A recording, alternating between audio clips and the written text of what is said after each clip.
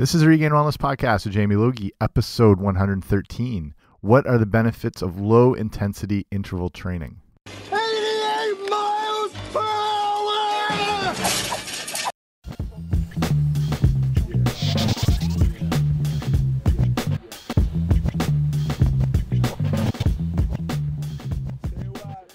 Hey guys, what's happening? Welcome back to the podcast. I'm Jamie Logie. I run regainedwellness.com, and you're listening to the Regained Wellness Podcast. So thank you for joining me here today. If you haven't already, make sure you subscribe um, on iTunes. You probably have potentially if you're listening to this on any like iPhone, Android, whatever. But if you're listening to it anywhere else, make sure you subscribe uh, uh, subscribe on iTunes, and then that way you get the show automatically sent to you each week. Um, yeah, you don't have to think about it. Ready to go. And today, this is interesting. Um, so I'm talking about low intensity interval training, and you might have thought I meant to say high intensity interval training, but this new um, HIIT training is is very well known and the benefits are understood and we're going to talk about why high intensity interval training is effective and beneficial but low intensity interval training is something not that it's new but it's it's kind of on the fringe people haven't either heard of it or they don't know how it works um, it's it's actually incredibly simple and might even provide some of the same benefits while not being as intense or as hard as the HIIT training. So this is LIIT training, not not lit like the kids say, but L I I T, low intensity interval training. So I'll try and break it all down to you. Um, it's something like I said, not that the the concept's new. I mean, people have been either doing it intentionally or inintention or unintentionally for a while, but getting more of a grasp on it might be something that's relatively new for a lot of people. So yeah, we'll try and break this all down and yeah, let's get to it.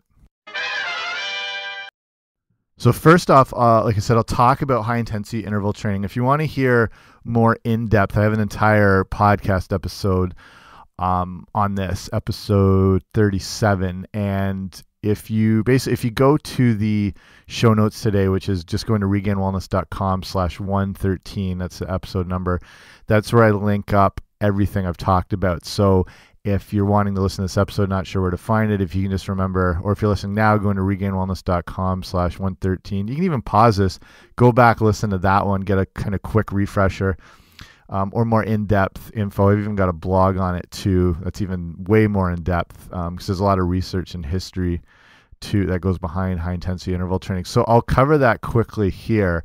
And you're if you're in a gym or if you've been working out or doing any sort of not advanced training, but a little more um, in depth or more intense, you've probably come across or even doing HIIT training.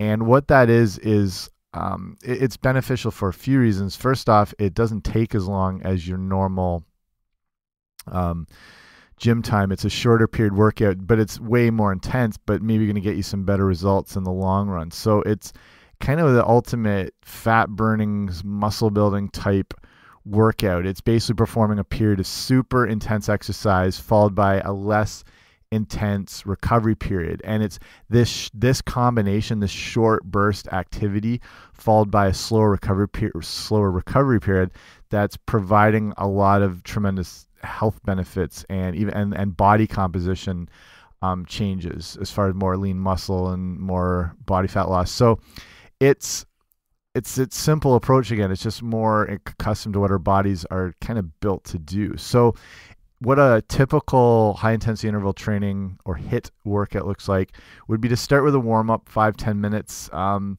very important. Get the blood flow to the muscles. Get things a little more looser. I mean, ideally, I'm sure you know this, but you don't want to go into really any any exercise cold. Making air quotes here. Um, it doesn't I think stretching before workouts, that's a whole other topic. I don't think that's that necessary. Stretching at the end of a workout is very beneficial, but coming in and stretching and then doing a workout might not be ideal. Again, you're stretching cold muscles. They do better when they've got, like I said, more blood flow to them. So that would look like some, you know, if light, depending on what you're doing, light jogging, um, warming up on a stationary bike or a cross trainer, just something that gets the heart rate up and the blood flow to the muscles. A very, another good thing is dynamic stretching. That's what I do all the time before workouts or before hockey. Um, it involves like arm swings and leg swings, but in more of a controlled manner. So it's it's hard to describe without showing you visually. Um, but if you're standing uh, upright, leg swings would just be you know bringing your swinging your leg up so trying to have your knee hit your chest and then extending it back behind you as fast as you well not as fast as you can but as high up as you can um, and try and get a deep stretch. So you're doing each swing around you know say 20 times. So it serves as uh, dual purpose. It does help in more of a natural stretching motion that you're not holding like a static stretch when it's cold but it's it's kind of a cardio movement, so there's blood flow going to the muscle, and and it's a light stretch at the same time, and it gets you more prepared for what you're about to do if it's more of an athletic endeavor because it's going to you know mimic some of the movements you're about to do. So you'll see. Um, I mean, most athletes do some form of dynamic stretching beforehand because it, it's you know a combination of all those things like a coordinated movement. It's kind of an athletic movement. It's uh, you know the blood flow thing, the stretching, the the warm up, the whole deal. So um, with whatever you do before the HIIT training, yeah, five to ten minutes. The workout itself is relatively short. You're looking at three to ten rounds of this high intensity exercise separated by that you know medium lower ish intensity rest period that's done for the recovery phase. So the high intensity portion of this of the workout is going to be almost all out, almost 100%. Like this is not for the, you know, faint at heart. You you want to on a perceived exertion scale um yeah, you want to be at a 10. You want to be at a 9 or 10 as hard as you can without, you know, potentially injuring yourself or, or passing out. The recovery portion is going to be less, maybe a 50% exertion. Um, and the way it looks is you pick your whatever your exercise is going to be for that day. I'll talk about different choices in a sec. The high intensity portion, where you're going that full 100% all out, is going to be around 30 to 45 seconds. Then the recovery phase can be anywhere from 15 to 60 seconds, maybe a little longer, depending on your level of fitness. You'd, you'd only want the lower recovery times when you're at a really high level for the average person, it's going to be a, about a minute, maybe a minute and a half at the most of that that slower recovery phase. So the the, the classic example is going to be alternating between sprinting and walking. So whether that's you know on a track, you're at the beach trying to look good, treadmill, whatever. 30 to 45 seconds is when you crank it up, go all out, sprint as hard as you can. Um, and then you're going to slow down and you're going to walk for around that, you know, 45 seconds to a minute. Just keep yourself moving. Like I said, it's a, like an active recovery. You're not going to just stop, sit down. Um, first, because that, you know, prevents the, the kind of the dynamics of the HIIT workout from working. And then second, doing anything intense and then just stopping is not super ideal. That's what can lead to cramping. You get more blood pooling in the muscles. You want to keep moving, whatever you're doing. So in this case, that recovery portion is part of the the whole workout. So that's pretty much all there is to it. It's super short. I mean, this workout can be anything from four minutes, like a Tabata style workout, um, and it could be up to 30. Now, it's not going to be more than 30 because then that's defeating the whole purpose of this form of training. But that's not a long time. But at the same time, that you don't want to go much longer than that. If you're doing it properly, yeah, 15 minutes, you're probably you're probably good. 20 at the most. So the beauty of high intensity interval training is you don't necessarily even you don't need to do it in a gym. You don't need super good equipment. Like i said that sprinting walking example is probably the simplest and probably the most effective um, way to perform HIIT training. But there's lots of other other ways. Like i like doing it on bikes like stationary bikes. So you can that's probably one of the best in my opinion because you can control the intensity perfectly. You've got that dial on it. And whatever the the dial that in, increases the intensity you, whether it's got numbers on it or it's just a perceived thing it's you know that idea of cranking it up pretty much as high as you can go obviously so you can keep the thing moving. Um, not so it's like full lock that you can stand up on it and not move but keeping it you know high intensity and then you can back it off which is nice. So you can do that in an instant. Um, other examples that uh, for the exercise choice, you can do running stairs and then walking down them for the recovery period. So I mean that's outside; it's free. Um, intense skipping is a good one, kind of classic. Um, you know, boxers and people like that do it. So really high paced skipping. What do they call those? Like double unders, where it's going under twice, and then a really slow, gradual. Um, recovery one. Burpees is probably another classic where you're working all the muscles in your body um, you know all those energy systems at the same time. You can use like elliptical machines and things like that. They're not bad.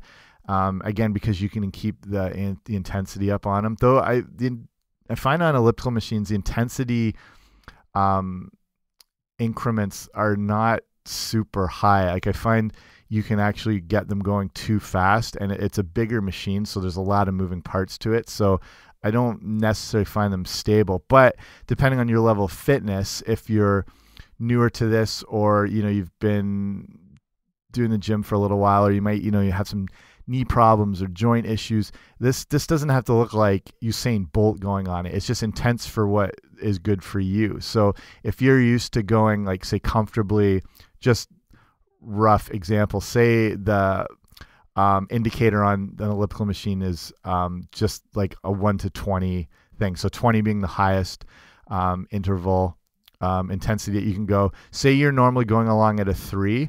So that doesn't mean you have to go to 20. You uh, like just going at a 10 might be perfect for you. So it doesn't have to be um, over the top. It's just what is going to challenge you for that, you know, that 30 second increment before you dial it back on down. So um, on it, even in, like if you're even brand new to fitness, you can do jumping jacks at a high intensity and then just walk around. This is why you might be more interested in what I'll talk about in a sec with the low intensity interval training and how that might apply more. But so basically the the whole point of this is the results that it gets. So this goes back not super super far, but the first research showing that um, HIIT training was was better for body composition for fat loss than more than over you know just steady state cardio which people might do for an hour an hour and a half. You can get this better or the same results in much less time. So in 94 it's actually from canada here. They do uh, where is it? Laval university. Showed that young men and women who performed a 15 week HIIT program lost significantly more body fat than those who performed a 20 week continuous steady state endurance program so um, this occurred despite the 20 week program was burning 15,000 more calories than the high intensity group. But the idea with the high intensity is it's creating a lot of better hormonal changes in the body that's getting those results. So same thing in uh, where is this 2001 study from East Tennessee State University found that participants that followed an eight week HIIT program dropped 2% body fat compared to those that followed a steady state treadmill cardio routine who ended up losing around no body fat. So the way HIIT training is able to do this is um, it, it, like I said, it has those hormonal impacts on the body. It increases your resting metabolic rate. It lowers your insulin resistance. Um, it creates skeletal muscle adaptations, so that's allowing for more um, muscle engagement, which burns off more fat um, and improves your glucose tolerance, so your body's better able to handle, um, you know, different forms of carbohydrates later on. It's um, not going to be as you know when we talk about insulin resistance, your body has trouble um, when it's constantly secreting insulin over and over, and it you know the exposure to carbs and that insulin response and basically your pancreas burns out and then that's what's leading you to you know like type 2 diabetes and whatnot. So doing exercise like this lowers that insulin resistance and increases your insulin sensitivity so your body's able to handle those, those carbs and sugars a bit better. Um, also there's recent studies from the american journal of uh, physiology and it shows that that HIIT training increases the amount of, of these special proteins in the muscle that are basically like they're carrier proteins and they're responsible for carrying fat into your mitochondria. You remember that's the powerhouse of the cell, if you remember back to biology. And it's burned away, that fat's burned away by up to 50% more because of this HIIT training. Um, and then the more of these proteins you have in the muscle, the more fat you can burn during workouts and after. So the other big advantage of this high intensity interval training is something called EPOC, which is not a cheap poor version of Tupac. It's called excess post exercise oxygen consumption. Basically, think of it as an afterburn effect. So it means your body is burning calories long after the exercise is done. So the minute you stop, um, it's almost like getting going because your body used up so much oxygen and it's got to replenish it through the body because um, it's gone into an oxygen deficit. And the way it um, replenishes it is by using more calories in the body. So it's showing that um, the research showing that this effect can last up to 24 and some say even 36 hours after exercise that your body is still burning these calories. So that's why it's one of the most popular ways um, for people looking to you know lose some body fat, gain some lean muscle, get a little fitter. Um, it does a lot. Like I said, it, this goes a lot deeper if you want to listen to that episode number 37 um, or read the blog on it. Again, this is all at regainedwellness.com slash 113. So that brings us to low intensity interval training, which now that you understand what high intensity interval training is, you can probably figure out what the low intensity looks like. And it's seen as a promising alternative to someone who's maybe wanting to do this sort of HIIT style training, but they're new to fitness, so they don't want to go super intense right away, or they've you uh, maybe it's part of the older population, or you might be a little you might have those joint issues. You can't go as intense, or you're looking to lose some more body fat, so the intensity level can't be as high. That's what this low intensity interval training is.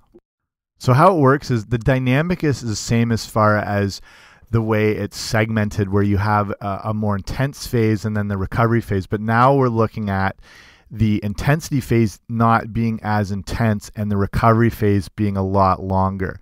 So, um, like I say, you break it down the same way. If you were starting off, the, the perfect example for this is to do um, a walking running combination, but it doesn't even have to be the running per se. So if you were out walking with someone you would go along for a, you know around five to eight minutes and that's going to start getting you warmed up.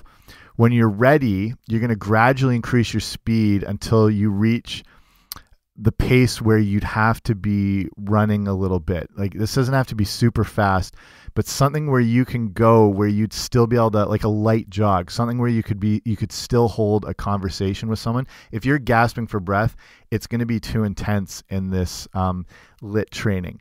So get to that pace and you're going to do that for around 90 seconds. Um, like i said it's going to take you a little bit to find where that kind of sweet spot is for you. Um, so you're going along for the 90 seconds. Like I said, it, it's going to feel tough, not but not like a sprint. That's the big difference. But basically, you shouldn't have to stop and catch your breath. So after that, you're going to slow down and go back to that recovery pace, which is um, that slower walk. It, it's basically at a walking pace where you think you could walk all day long. Nothing, nothing crazy hard. Um, just a very slow grad, almost like a saunter, where you're just having, you know, shooting the breeze with someone walking along. So you've done that 90 seconds. You're going to go down to that slower walking phase, and that's going to be around three to five minutes. So again, depending on your fitness level, if you're new to it, you'd want to go maybe for the five minutes. If you're a little, if you've been, you know, a little more active already, you can do the three minutes. Um, and then you know just keep going at that pace. And then at that five minutes you're going to go again at that 90 second pace. So at this point you know it might be again it's hard it's subjective for everyone. It might be more of a, a way more brisk walk or that super light jog. Like i said something where you definitely feel like you're working. It might be that slight burning because it's a little more intense but nothing that's over the top you know kind of excruciating full on sprint so you've done that 90 seconds again, then you go back to that three to five minutes. The advantage here, though, is you have that longer recovery time. So ideally, you'll feel better um, as recovery goes. So this whole thing is going to take around 30 minutes as you repeat that process between the 90 seconds on and that three to five minutes off. And then as when you finish that final last 90 seconds, some people call it a, as far as this LIIT training, some people call it a a chase or like a boost pace. That's the intensity part. So whenever you finish this final burst or whatever, you're going to spend eight to 10 minutes at that recovery, that slower walking pace. And that's going to serve as your cool down. And then, you know, you can do some lighter stretching and, and whatnot. So for exercise choice, like I said, this walking, jogging, brisk walk combo is one of the best because um, it's easy to monitor. It's outside, it's free, it gets you fresh air, the whole deal.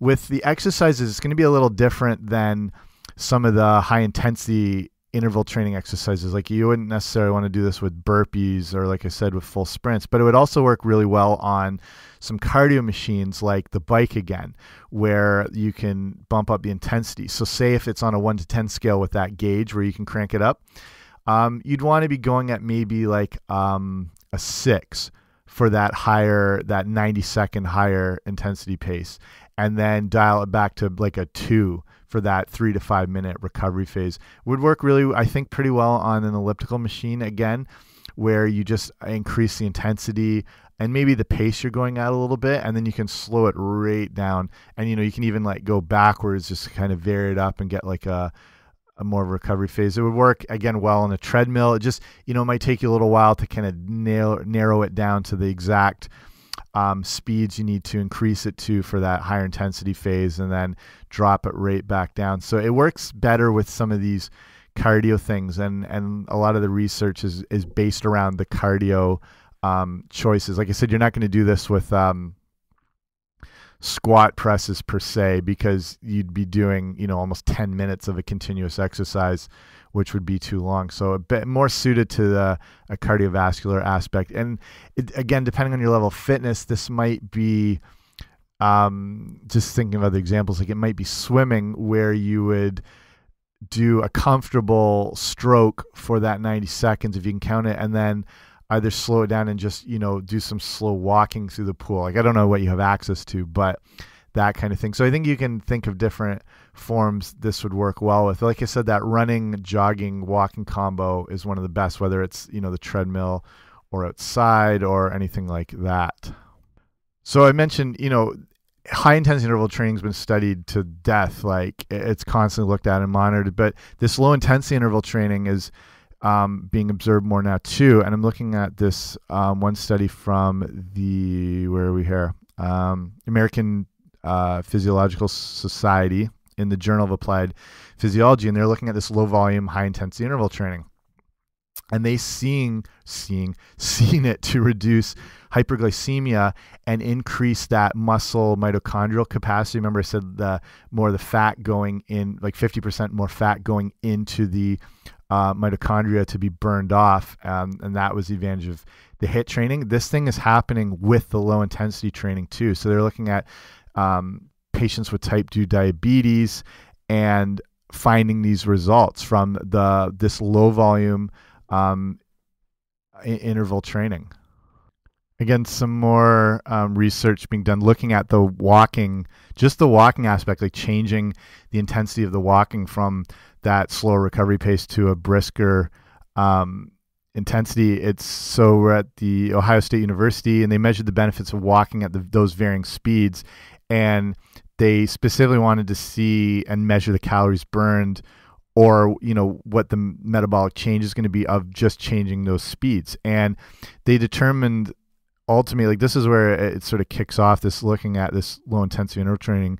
They we're looking at we are really under, underestimating the number of calories burned even while just walking in daily life or you know while we play sports or whatnot. And, and fact that 8% of the energy used during daily walking may be due to energy we spend just starting and stopping. So whether you're tying your shoe or you know no as you walk just say if you're walking on your block or walking your dog um, it's not always steady state it's just this stopping and going process is potentially providing a lot of benefit. So if you're walking your dog and it stops to do its thing and whatever, then you get going again.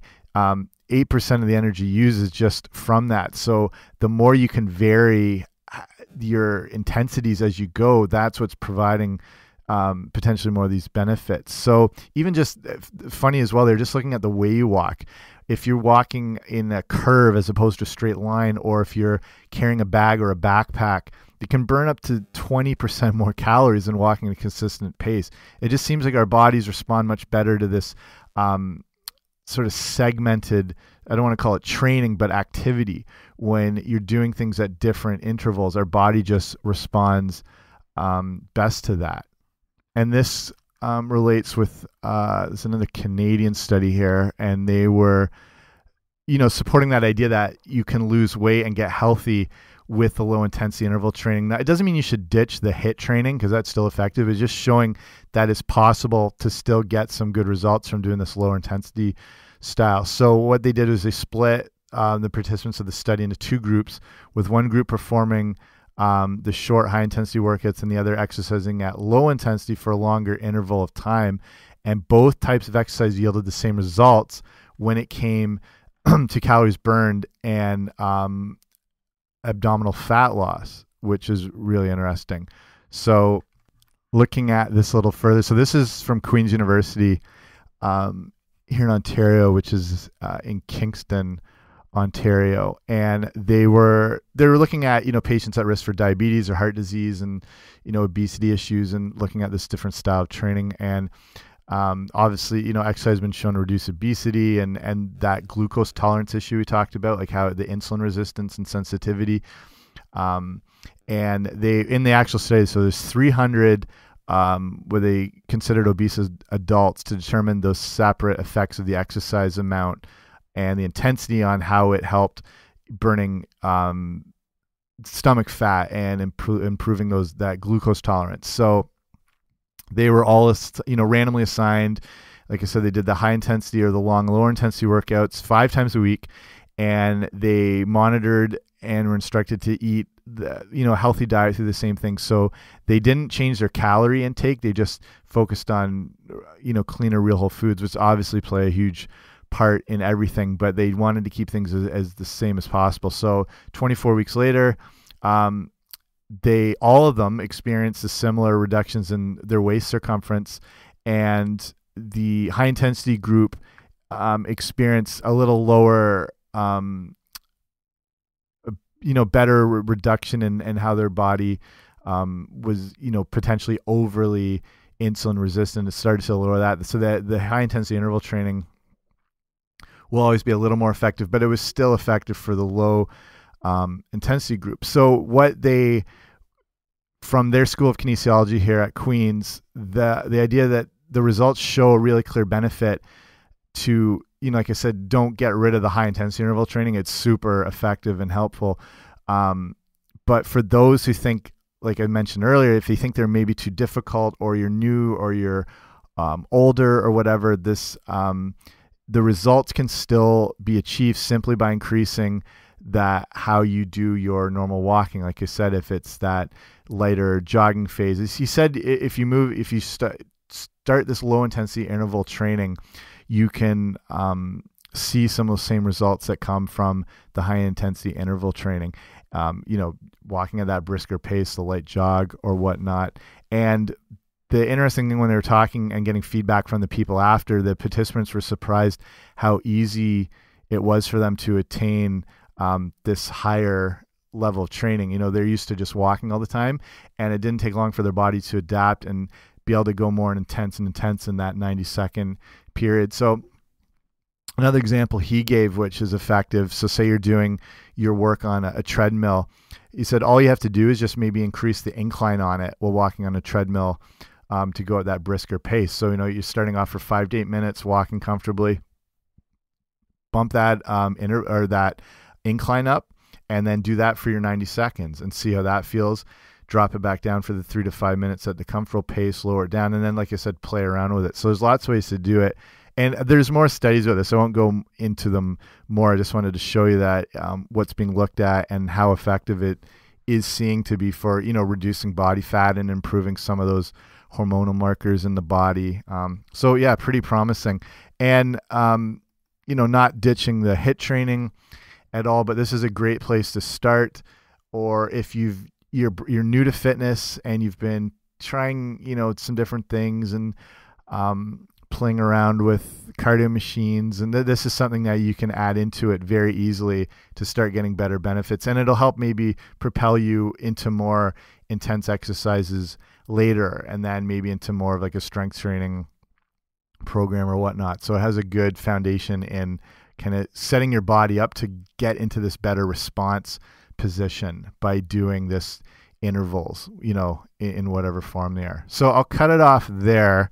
Hopefully that's good. If you have any more questions about this whole deal, like I said, I've been looking at this for the last few weeks, and there's like it's you know relatively new, but there's some decent research and information out there that's not super um, publicized yet. I don't know if this is something that will grow, but I think for the people who are maybe wanting to start things off a little easier and they're looking for a little more uh, of a challenge, this low intensity interval training is perfect. So, but if you have more questions, just uh, email me at info at regainedwellness.com.